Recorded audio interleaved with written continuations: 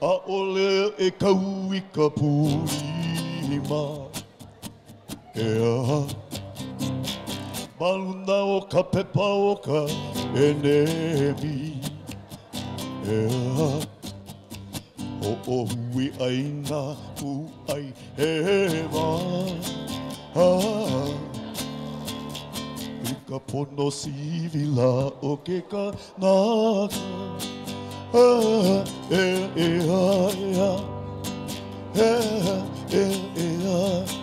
We just wanted to be able to go through a little bit of history. Not everybody knows this history of the evolution of uh, FedRec and, uh, how we came to be where we are now with this nation building effort. Um, we don't have a lot of time, so it's going to kind of be pretty short, not all the detail, but we just want to go over the basics. I I just want to acknowledge that um, I'm a student here, so I had to juggle my homework with doing this. So any mistakes are, are purely my own. Um, any oversights, uh, I'll own them. And, um, but it's pretty straightforward. Um, so we'll just get right into it.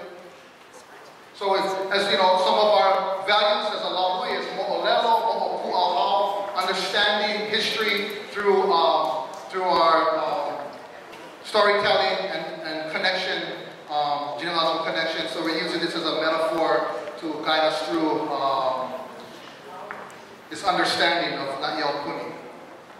So most of us know Apology Bill, Public Law 103-150. Um, 1993, President Clinton signs the bill where the United States apologizes to the people of Hawaii for their role in the uh, overthrow. Um, it affirms that Hawaiian people have never directly relinquished their, cra- their claims to their inherent sovereignty as a people over their national lands and calls for reconciliation. This important point we want to point out uh, and as we analyze the, the definitions and um, so some of the political definitions of certain terms. This is where I believe we see already uh, a flaw, a failure in, in uh, our self-determination as a people. Yeah, when they drafted the bill apologizing, they acknowledged that we never directly relinquished our claims to our inherent sovereignty. And inherent might sound good on the surface. It sounds like inalienable. But it's not. Yeah, we understand how inherent sovereignty has been framed in the context of U.S. law. We see clearly that it's uh, United States Indian law. Yeah? Inherent yeah, sovereignty is really within the U.S. framework of tribal government. Yeah? A lot of our people, even some of our sovereignty people, don't know that. Um, so when they when they apologize to us, they apologize that we never relinquished our right to be governed within the U.S. framework, basically. Yeah? So that's a problem. And then it calls for reconciliation. So they call for reconciliation, but as you see in their call, they've already set up the terms, inherent sovereignty. They've already put the box around us as they call for reconciliation. It's very important. Um, mentioned in the middle slide that it also said we didn't relinquish, uh, our people did not relinquish, our people as a land. right. Neither. It says that, yeah, a good point. So we didn't relinquish our claims over our national lands. That's important. And of course, we're all here because of that. um, I'm not going to go through the whole Akaka bill years. Um, it's way too long and complex. But what we do need to know is that they tried for a very long time to force the Akaka bill on us, and many of us organized and worked together to fight federal recognition. They, they tried to force the Akaka bill on us with virtually no hearings, no free prior infor- informed consent from our people, and ultimately a Akaka bill fails in Congress, um, largely, I believe, because of U.S. racism, where we didn't, um, they didn't want to recognize us for anything. Um, so Akaka bill fails, and what happens is there's this effort to try to get something else. So if we can't get federal recognition, let's try and start with state recognition. Start smaller. But behind that process of state recognition, there's also an agenda, and we need to be real clear about that agenda. That agenda is that, as some of our, our, old-time activists know, for many years, Office of Hawaiian Affairs has made efforts to settle ceded land claims. Oftentimes, most times those efforts, all they fail. They could never settle the claims. The state would love to settle claims. And then one of the last ones that came out was a global settlement, which is across the board settle for everything. Um, and they were never able to do that. But what has happened is the Office of Hawaiian, of Hawaiian Affairs has come to a legal analysis, that they cannot enter into a global settlement on ceded lands because they're a state agency. So they can't do it. But a Native Hawaiian entity could, and it doesn't have to be federally recognized. A state recognized Hawaiian entity has the potential to enter into a global settlement. And so we believe that that's one of the underlying agendas. Not we believe, this is what we've been told from um, high-level insiders. Yeah? Um, so they, Kakabil Fells come out with Act 195. Many of us have, are not ready for Act 195. We don't know where it came from. And we're all caught off on guard, all caught off guard. We don't know. Who drafted Act 195? I think Brickwood Galuteria submitted it, but who was the brains behind it? Yeah? Uh, I know it was, I was, it was any, I don't know, I don't know anybody who was. So Act 195 creates Kana'iolowalu, um, which is a native roll, and there is another problem, yeah? They start off without our free prior informed consent to create a native tribal roll that you have to sign up to be a part of. And we, the history of rolls goes right back to Native Indian history, Indian law, yeah? And so it puts us in another box with this um, roll. As I mentioned, no Lahui consultation in the drafting, no community involvement. Points of Act 195 is to recognize Native Hawaiians as the only indigenous Aboriginal population of Hawaii.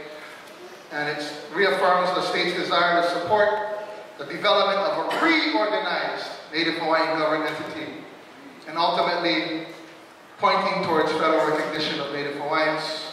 The statement of recognitions sorry, the statement of recognition states that the Native white people are hereby recognized as the only indigenous Aboriginal maoli people of Hawaii. We already knew that. Um, but what's interesting is basically the language reads that Act 195 already offers recognition on the state level. So when the entity is formed, recognition is already codified right here in this document. And if we understand that there's a potential to seek a global settlement, then it's all set up in advance for, the, um, for even a state entity.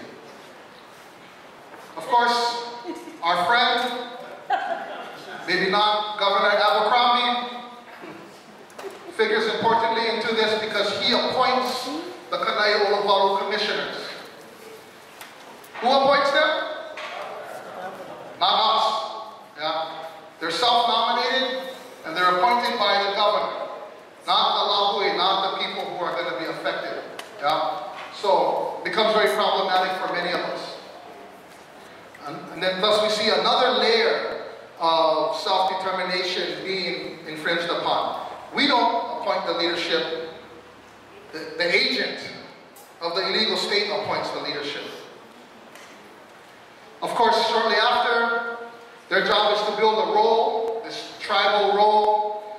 One of the things they do is launch this series of public notices.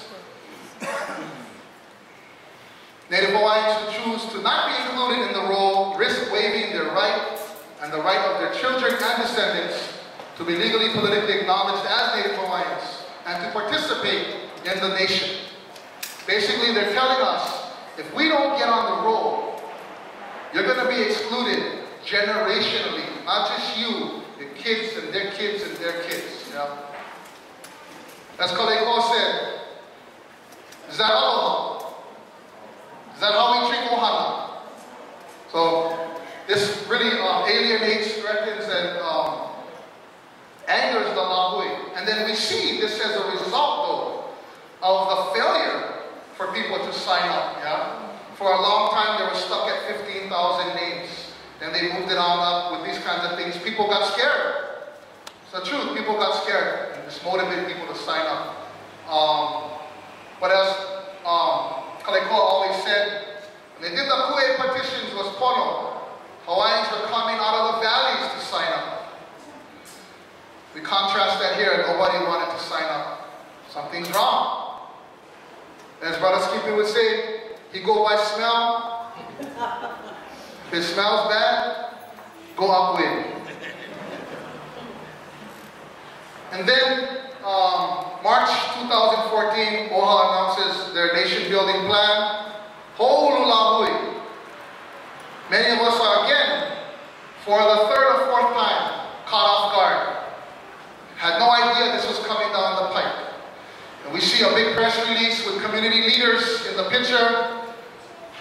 And then we find out that it was a very exclusive, invite-only press release with select leaders to promote this agenda and make it look good.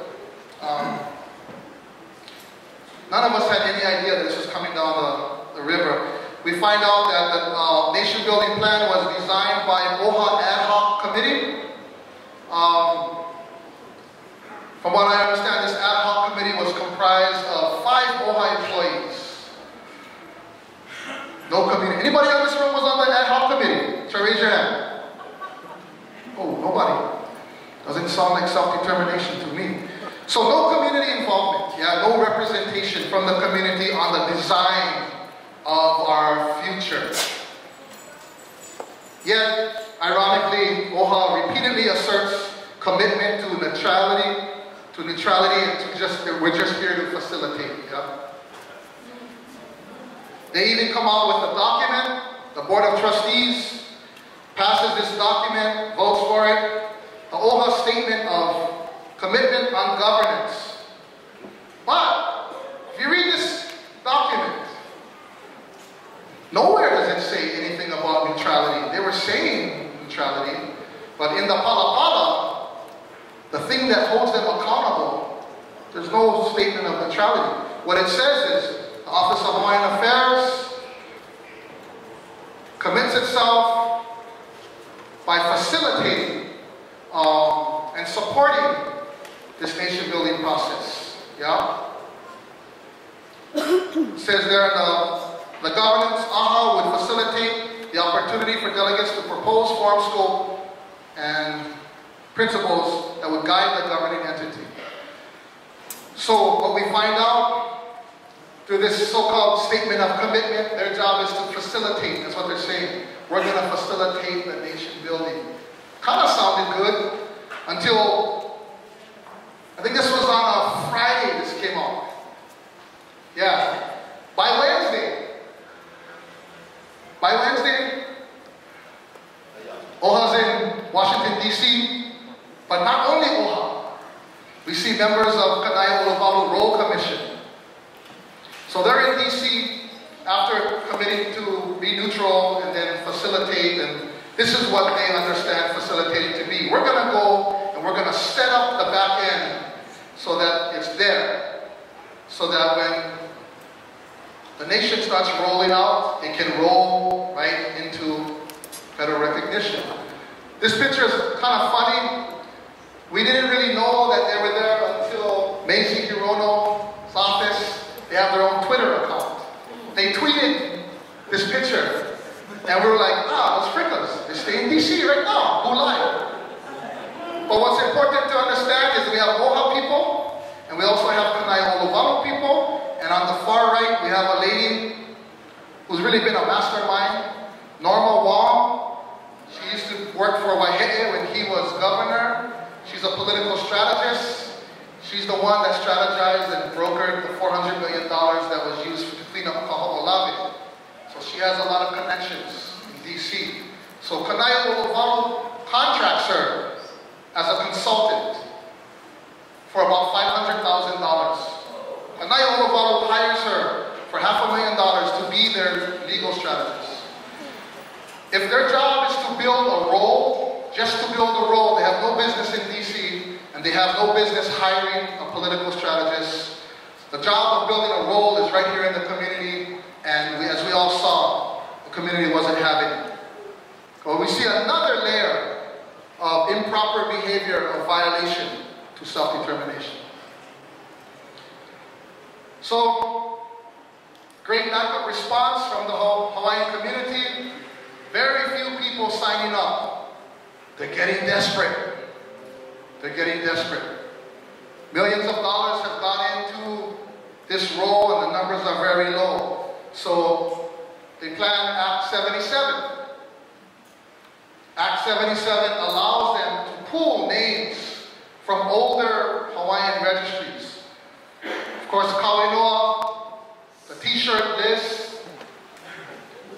I will argue, I'm comfortable saying this, most people got on Kauinoa because they just wanted a free t-shirt. um, Office of Hawaiian Affairs has their uh, Affairs has their Hawaiian registry, which has a database, so ancestry, ancestry verification. Oftentimes, the OHA registry was used for scholarships and grants, stuff like that. So they have their own database. And there's something else called Operation Ohana program. So Act 77 allows them to pull all these names into the dismal failure of the roll and to buffer it with over 100,000 names. And I know for a fact that there was much debate within OHA and that some of the leaders, some of the leaders within OHA felt that this was improper. But they didn't, they, were, they weren't in control. In fact, I want to point out that OHA was kind of in control of some things, but not in control of other things. If you've been at um, some of the Kamawa Ea meetings that OHA held a couple years ago, CEO Kamana'opono Crabbe has stated publicly multiple times that Kanai Olovalu mandated OHA to Kanai. They didn't have a choice. They had to, they had to fund Kana'iolowalu. And that doesn't sound like self-determination if the, uh, the state's telling the trustees what they must do with trust funds. So we see another layer violation here. Um, so Act 77 pulls all these names in. And there's some people who want to challenge it legally. Is there, is there a violation of confidentiality? Is there a violation of free prior consent? Anything. And there's an analysis that comes out that, well, you can opt out, so you're not really being violated. You can opt out. Highest principles of self-determination should be to opt in, not opt out. I think we can all agree on that. Shortly after, um,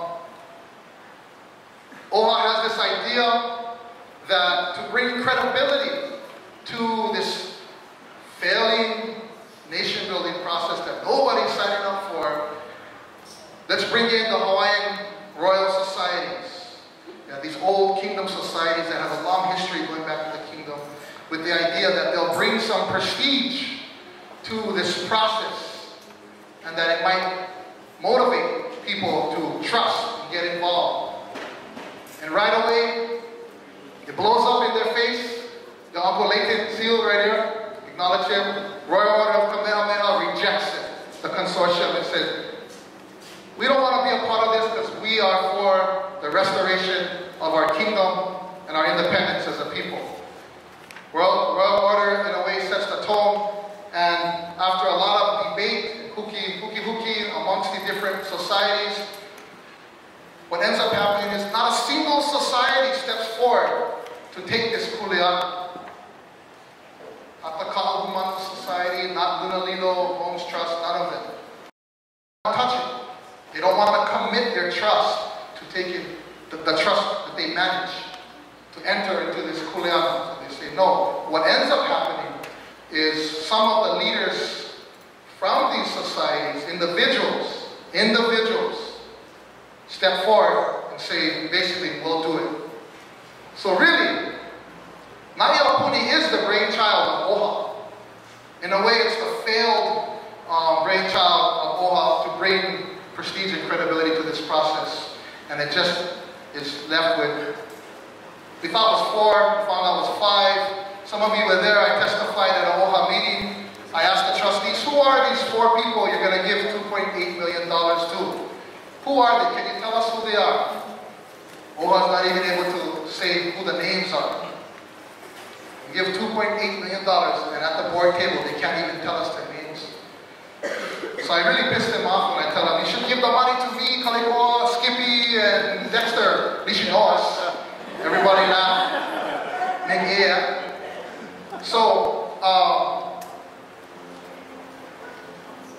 happens is these individuals emerge. OHA has to, at this point, OHA must go along with the plan. There's no really no other options. So they fund them $2.8 million, and what we're hearing now is they're going to give them another 500,000 if they haven't already. Um, and you know, one of the key things I think is really important is one of the members of this, Na'i Aupuni, is the wife of former OHA executive CEO Clyde Namuo, who is currently the executive director of Kanai'o Puni. So this thing is, um, sorry, not Kanai'o Puni, Kalamai, Kana'iolowalu. Clyde Namuo leaves OHA, becomes the executive director of Kana'iolowalu. Now his wife is involved in Na'i Aupuni. So we have this kind of incestuous conflict. I remember approaching one of the trustees and I, I say, isn't that a problem? Don't you think there's a conflict of interest there? And the answer that I got was, well, Pauline's not like Clyde. She's much more responsible. So, sorry we got a lot of text here, but basically, kind of want to wrap this up as I talked about, you know, throughout this whole genealogy of nation building, really going back to 2000 with the formation of Akaka Bill, we've never really had, we never, not we, they never strive for the highest principles of inclusion, yeah? Self-determination is a core principle in inter international law that says that all peoples have the right to freely determine their political status, and it specifically includes independence. It cannot be initiated, controlled, or monitored by the occupying state. All people have the right to self-determination, to freely determine their political status, and pursue economic, social, cultural development. The United Nations Universal Declaration of Human Rights, Article 15, states that everyone has the right to a nationality, no one should arbitrarily be deprived of that or denied the right to even change. What's very interesting, as I close out, is if you look at the Department of Interior rules that just came out the other day, they affirm that the rules were made in accordance with the United States standards of self-determination. We got, so we got multiple political definitions happening here. But this language comes from the UN DRIP, which is um, seen, I think, universally as some of the highest standards of self-determination coming from the international level. Collective indigenous peoples have put these, these standards together. What's interesting to me is that DOI is saying we're doing it in accordance with the United States standards of self-determination. Act 195 says, Act 195 references the UN DRIP, these higher principles. So we have uh, another layer, I think, of, of, sort of disconnected conflict, yeah? Um, I called over to the Department of Interior last week and asked them, what are, what are the U.S. Um, standards of self-determination? Where do they come from? And what I was told was, well, we don't really have anything specifically for Hawaiians, so we kind of got to draw from, from Indian law. So,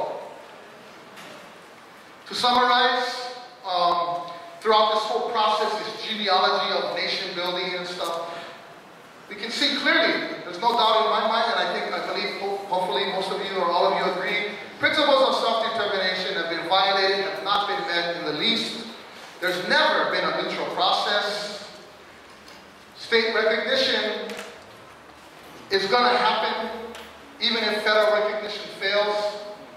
And we see that there's underlying agenda to settle Hawaiian claims over national lands. That claim that Nani pointed out, we've never acquiesced our claim over national lands, It's about to happen this way if the sort of the backdoor, the backdoor dealings happen for a global settlement. Um, federal recognition threatens international claims to independence.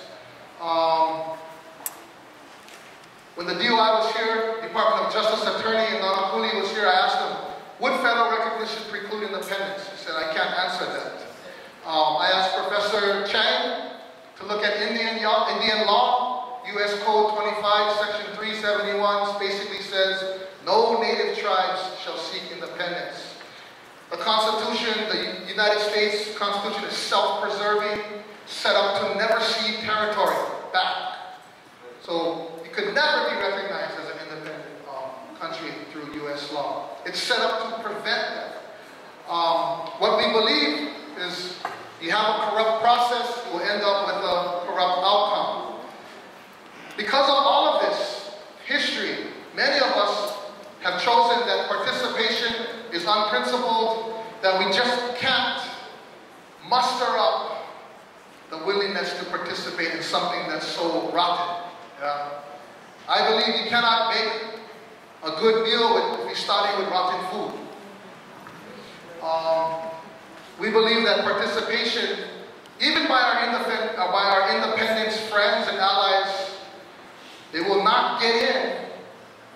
They will not be able to control this thing. It's going to be set up to be controlled by the people who designed it, and that participation will only serve to validate and legitimize the outcome. Mahalo nui. mai Hawaii i moku ae Kogu ana honoa o i lani Ea Ako o mai kaua i o mano oh, oh, oh. Pa apu me ke huli o ka hagui